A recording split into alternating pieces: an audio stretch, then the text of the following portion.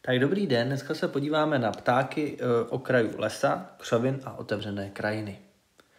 Musíme si uvědomit jednu věc, že ptáci žijící na stromech nebo v křovinách, takto definovaní, zalétají za potravou do otevřené krajiny. A ptáci z tohoto prostředí hledají úkryt například v lesních porostech. Stromoví a křovistní ptáci mají nohy přizpůsobené pohybu ve větvích i po zemi. Svými většinou rovnými zobáky různé velikosti sbírají živočišnou i rostlinnou potravu. Hnízdí na stromech, křovinách i na zemi.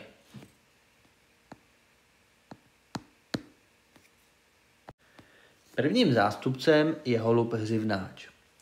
Ten žije v lesích smíšených i jeličnatých v blízkosti polí. Živí se semeny, smrkovými, žaludy, bukvicemi, plži a hmyzem. Potravu sbírá na zemi.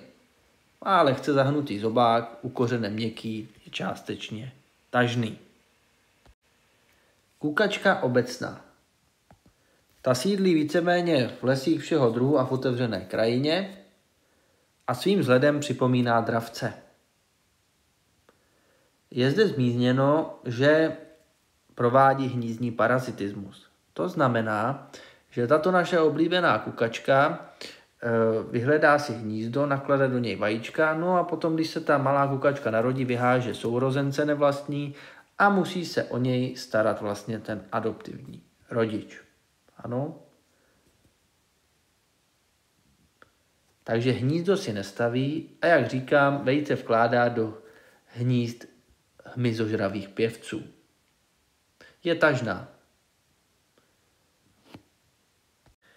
Takže patří sem pěnice, jsou to malí štíhlí ptáci s nenápadným barvením. Žijí a hlavně hnízdí v křovinách, jsou nápadné svým libozvučným zpěvem. Toto, co tady máme na obrázku, by měla být pěnice černohlavá. Chytají hmyz a u nás se vyskytuje jenom v letních obdobích. Dalším zástupcem je vrána obecná. Má velmi drs, drsné krákání.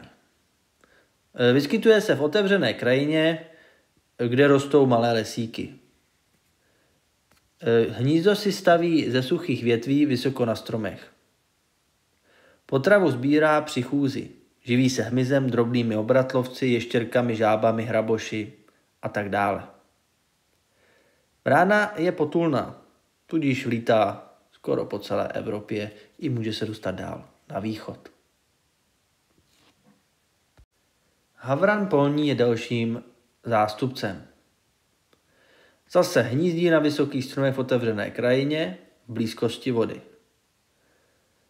Hmyzí larvy hledá v půdě. Živí se plži, drobnými hlodavci a naklíčeným obilím. Naši havrani odlétají na zimu do jihozápadní Evropy a místo nich sem přilétají havrani ze severu. Dalším zástupcem je straka obecná. Je to velmi nápaditý pták s dlouhým ocasem. Vyskytuje se v otevřených krajinách s křovinami a skupinami stromů, kde si také staví hnízdo. Loví drobné obratovce, plže a hmyz. Plení ptačí hnízda. V zimě se živí rostlinnou potravou, bobuleny, bobulemi, zrním. A hodně často se s ním setkáte v blízkosti lidských sídel. Má se za to taky, že má ráda blízkavé věci. Jo, takže může se stát, že si je tahá do hnízda. Obecná definice je, že tito ptáci hnízdí na stromech a keřích, a potravu většinou hledají v otevřené krajině. Dalším kapitolkou jsou ptáci otevřené krajiny. Jsou to ptáci, kteří eh, se vyskytují tam, kde je pole, louky, kde rostou křoviny, skupinky stromů nebo osamělé stromy. Patří sem třeba hrabaví ptáci. Ty se pře- eh, pohybují převážně na zemi, kde si také hledají potravu Mají silné hrabavé nohy. Sem patří třeba koroptev nebo ža- ba- bažant obecný.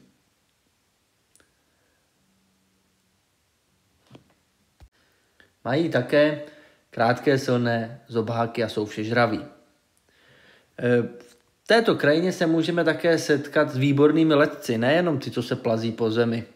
Patří sem rodísy, vlašťovky, jiřičky, mají dlouhá, srpovitě zahnutá křídla a malé, široce sploštělé zobáky. Jejich malé a slabé nohy neumožňují souvislý pohyb po zemi. No a pak sem patří ostatní ptáci, jako je třeba vrabec, ty mají kuželovité zobáky. Prvním zástupcem, kterého tady bohužel nemám a který se u nás velmi často vyskytuje, je bažant obecný. Ano, žije v otevřené krajině a kohout je oproti slepici pestře zbarven. Nejčastější hrabavý pták, s kterým se setkáme. Dalším zástupcem a už tak vzácnějším je koroptev polní. Ta obývá okraje polí, sbírá hmyz a různá semene. Žije v malých rodinných hejnech, jenom ne v době rozmnožování. Koroptev je stála, ale bohužel kvůli velkoplošnému zemědělskému hospodaření došlo k jejich značnému úbytku. Tento, tento pták jako koroptev polní se řadí také mezi hrabavé. Dalším zástupcem je rodýs obecný. Ten většinu svého života tráví ve vzduchu. Létá vysoko na obloze, hnízdí v koloniích ve městech a obcích s vysokými věžemi. Po případě zříceniny, vršky skal. Má malé přichycovací nohy se čtyřmi prsty obrácenými dopředu, což mu neumožňuje sednout na zem nebo na větev. Dalším zástupcem je skřivan polní. Ten se pohybuje většinou po zemi, ten sbírá semena a hmyz, má dlouhé drápy na zadních prstech. Na zemi též hnízdí. Přilétá na přelomu února a března. Vlaštovka obecná je dalším zástupcem a ta žije v blízkosti lidských sídel, které vlastně sousedí s otevřenou krajinou, takže většinou na vesnicích. Většinu času tráví ve vzduchu, rychle létá a chytá hmyz. Ocas má hluboce vidličnatě vykrojený. Staví si miskovité hnízdo, kam vlastně je zkoušku bláta smíšeným se slinami uvnitř staveb. Staví většinou ve stájích, lévech, chodbách a tak dále. Plaštovka je samozřejmě tažná.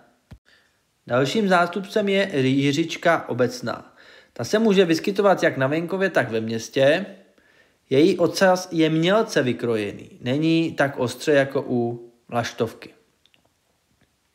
Staví většinou kulovitá hnízda s letovým otvorem, kterému vlastně um, které umístuje na vnější stranu staveb pod římsy, pod střechy, do výklenku a tak dále. Je také tažná. Dalším zástupcem je vrabec domácí. Vrabec domácí velmi často eh, provází člověka ve městech i na venkově. Na zemi poskakuje, všimněte si, že vrabec domácí má takovou jakoby, to bříško má do bílo, šedivé, ano, má kuželovitý zobák a velmi často se s ním setkáte, je stálý.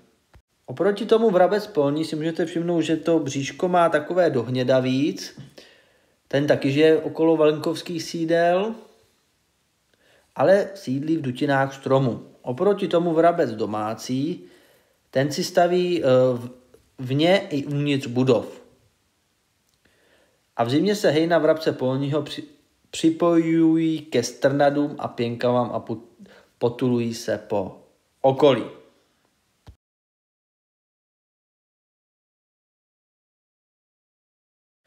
Další kapitolkou, která nás bude zajímat, jsou ptáci břehů tekoucích vod. E, asi je jasné, že se vyskytují u řeky, rybníky, tůňky. Prvním zástupcem je ledňáček říční. Ten se vyskytuje hlavně u čistých vod, loví střemhlavým letem do vody a je stálý. Dalším zástupcem je skorec vodní. Ten často brodí v horských potocích s kamenitým dnem a létá nad vodou. Chodí též pod vodou a sbírá larvy vodního hmyzu, malé korýše a měkýše. Má husté peří, nesmáčivé vodou. Rovný štíhlý zobák a dlouhé nohy. Hnízdí v různých štěrbinách v břehu pod mosty nebo v místě krytém přepadající vodou. V zimě se stahuje tam, kde voda nezamrzá. Dalším zástupcem je konipas horský. Je štíhlý pták s dlouhým ocasem. Žije u čistých horských potoků. Hnízdo si staví skrytých, eh, na skrytých místech blízko vody. Je tažný. Dalším zástupcem je konipas bílý. Ten není tak vázan na vodu jako konipas horský, žije hojně, hoj, hojně podél toků v otevřené krajině. Taká na pastvinách v blízkosti lidských sídel a zemědělských staveb. Loví hmyz. Je velmi přizpůsobivý na zimu. Od léta. No a na závěr velmi důležitý pojem. Musíme si z ekologie eh, říct, co to je nika. Eh, že každý druh žije v určitém ekosystému. Ano. Organismy jako živá složka ekosystému mají tu vlastnost, že využívají všech příležitostí k osídlení jeho části. Každý druh se v průběhu času přizpůsobuje a nachází své nejvhodnější místo v tomto ekosystému. A to se nazývá nika. Všechny organismy, bakteriemi počínaje a savci konče mají své niky. To je jenom pro zajímavost. Samozřejmě stačí, když si napíšete, co to je nika. E, to, co tam je napsané, prosím, tak si napište, abyste věděli. E, stačí mi jenom zástupci, abyste věděli, kam co patří, o jakých jsme se bavili. A e, pokud je v prezentaci nějaký test, tak si ho napište, ale jinak vám přeji hezký den.